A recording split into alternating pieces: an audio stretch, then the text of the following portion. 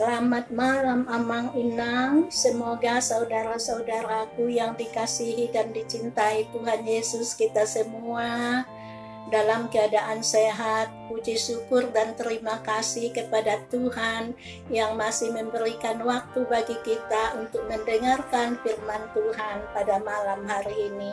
Sebelum kita mendengarkan firman Tuhan, marilah kita berdoa. Kita berdoa.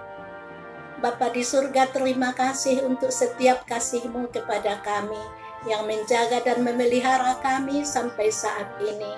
Tuhan, sekarang kami mau mendengarkan firman Tuhan. Tolong kami dengan roh kudusmu, dengan segala kelemahan hambamu, dan untuk semua jemaat umatmu yang akan mendengarkan, persiapkan hati kami masing-masing supaya firman ini betul-betul dapat kami nikmati dan dapat kami lakukan di dalam kehidupan kami. Dalam nama Yesus. Amin.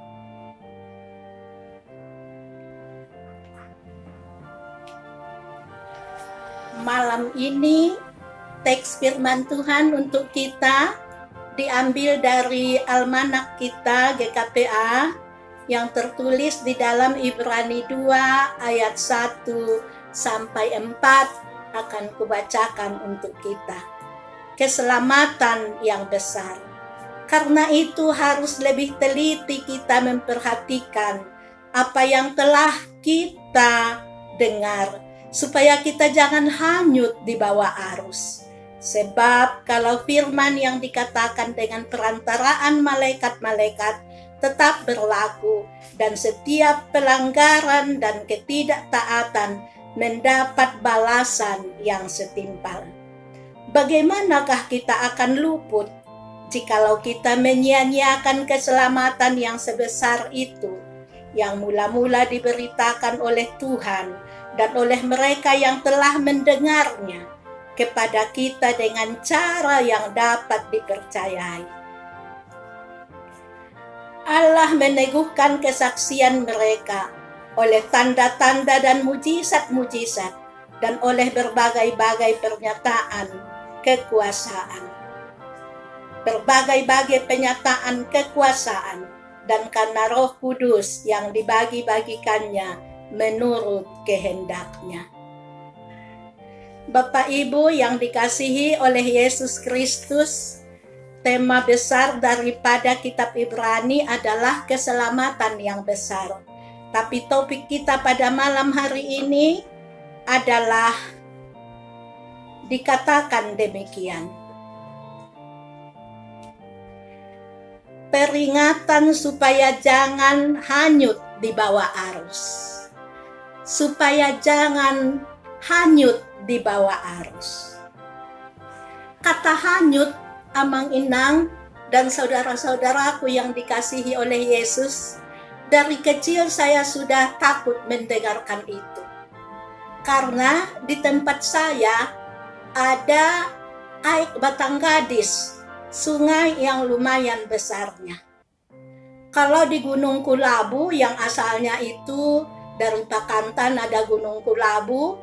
Mulai dari situlah air mengalir dari gunung ke air Batang Gadis.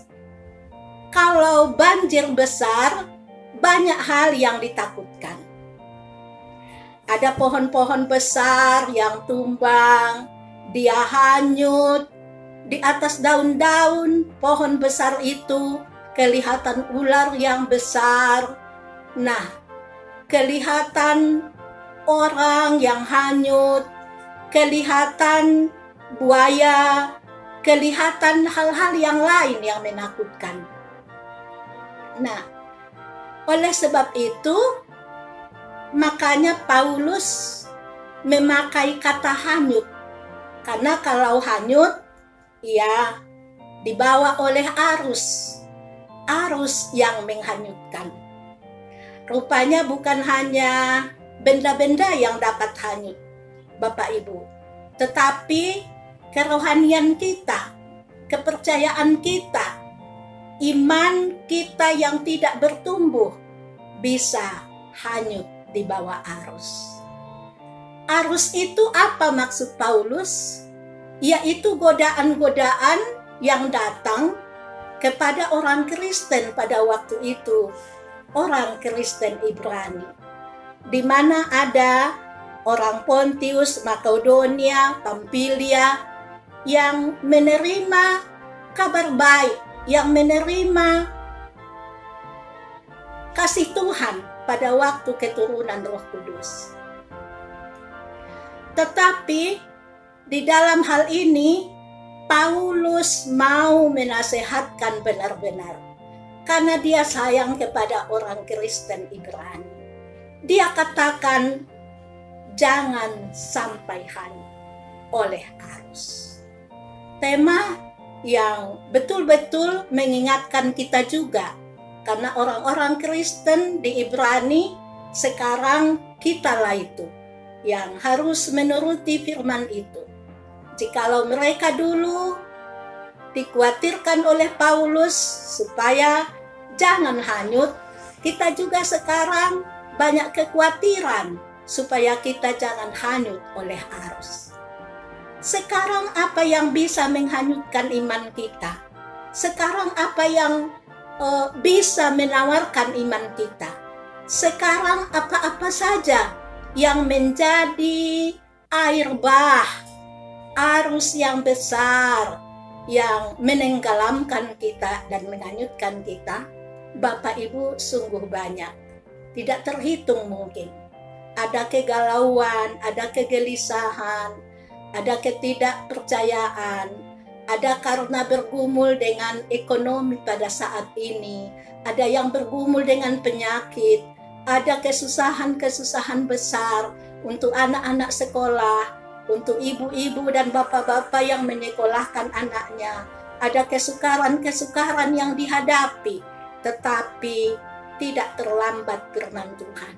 Firman Tuhan tetap memelihara kita. Dikatakan Paulus, telitilah perhatikanlah, jangan sia-siakan keselamatan yang besar itu. Jikalau kita membaca tadi, ayat 2 dimulai dengan oleh karena itu. Karena itu artinya keselamatan yang besar itu. Dan disambung lagi, keselamatan yang besar itu datangnya dari Yesus. Yesus yang lebih unggul dari malaikat, Yesus yang lebih unggul dari semua nabi, Yesus lebih unggul dari segalanya. Keselamatan yang dari lebih unggul itulah yang menjadi bahagian kita. Oleh sebab itu Bapak Ibu, kita harus memelihara. Kita harus merawat. Kita harus perhatikan, harus teliti menghadapi segala perkara yang ada supaya kita jangan dihanyutkan oleh arus. Tuhan Allah Maha Kasih. Dia tidak mau satupun dari kita hilang, dari salah satu dari kita hanyut di bawah arus kehidupan. Oleh sebab itulah gereja kita juga memberikan kepada kita firman Tuhan di dalam setiap waktu, di dalam almanak kita, di dalam buku harian kita, di semua yang kita nikmati firman Tuhan, banyak setiap hari kita diberikan firman Tuhan. Bapak Ibu yang dikasihi oleh Yesus, biarlah firman Tuhan pada malam hari ini tetap mengingatkan kita, tetap menasehatkan kita, supaya kita jangan hanyut oleh arus. Arus itu bukan pekerjaan Tuhan. Arus itu bukan menjadi satu alasan bagi kita supaya kita meninggalkan Yesus. Tidak. Harus itu memang kita hadapi.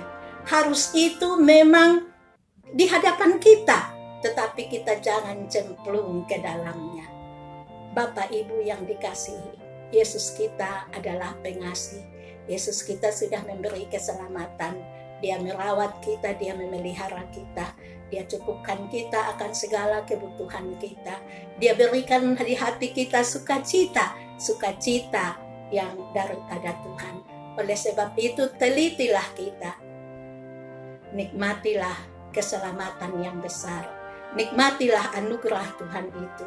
Nikmatilah kasihnya dan biarlah kita senantiasa hidup di dalam firman supaya kita kuat menghadapi kehidupan ini. Karena firman Tuhan menjadi pelita firman Tuhan menjadi suluk bagi kita. Terima kasih untuk semuanya. Tuhan Yesus memberkati kita. Amin. Kita berdoa.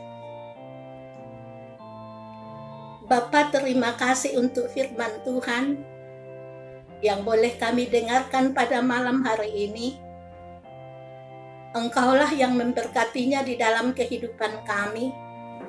Inilah permohonan kami Tuhan kepadamu, supaya kami jangan hanyut oleh arus kehidupan yang banyak hinggap di dalam kehidupan kami.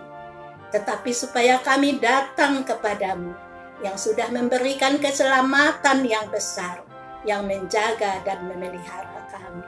Tuhan peliharakanlah semua umatmu.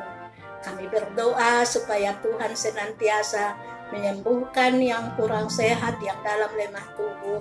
Engkau memberikan kecukupan bagi yang berkekurangan. Engkau memberikan hati yang damai sejahtera di dalam kegalauan. Engkau tahu dan mengenal kami satu persatu. Tuhan, malam telah menjadi bahagian kami. Biarlah kami istirahat supaya besok pagi kami boleh bangun untuk menikmati anugerah dan keselamatan yang Tuhan masih berikan. Terima kasih, terpujilah Tuhan. Amin.